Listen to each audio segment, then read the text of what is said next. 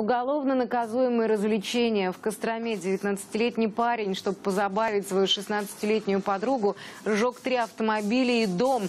Перед этим парочка употребляла спиртные напитки. Потом молодой человек решил прокатить свою подругу, стал вскрывать машины, но завести их ему не удавалось, и впоследствии он их поджигал. Причем парочка делала еще и селфи на фоне пожаров. Произошло это в ночь с 6 на 7 сентября. Накануне эти же молодые люди совершили еще более опасный поджог.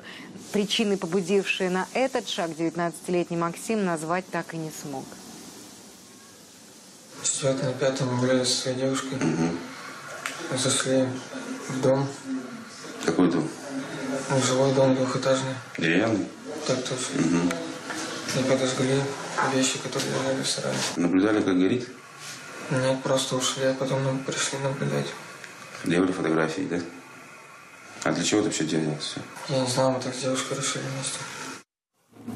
Несмотря на раскаяние в содеянном решением Костромского районного суда, Максим взят под стражу до 7 ноября.